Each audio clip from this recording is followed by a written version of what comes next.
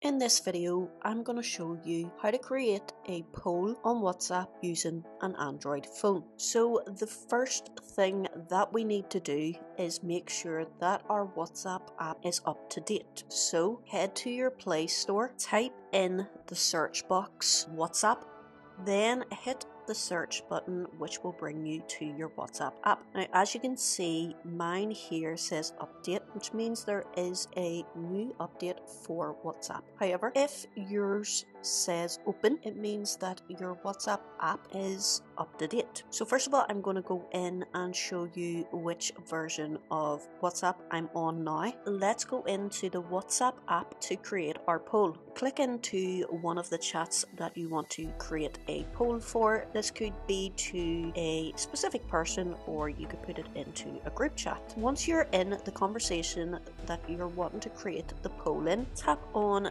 the paper clip and you should now see a new option for poll. Tap on this. The first thing that we want to do is create our question for the poll. So I'm going to enter in a random question here just to show you what this is going to look like. And after you have your question entered, then what you want to do is start adding the options for people to vote. So in here, I'm going to select yes or no, just as simple as that. You can also rearrange by holding your finger on the three lines beside the one of the answers and rearrange those to how you need them. Then hit the send button and now you can vote and other people can vote for the poll that you have just created and you can also view votes and see what people have voted. So I hope you found this video helpful. Thank you for watching. Until next time, peace.